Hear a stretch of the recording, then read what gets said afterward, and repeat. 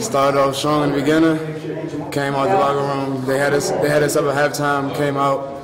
I mean, we didn't feel too good about it, so we came out. Got the one. Got the W. It was a great win for us. We did really well out there. We rebounded, played defense. Really we got out on the shooters and everything. It was a good win for us.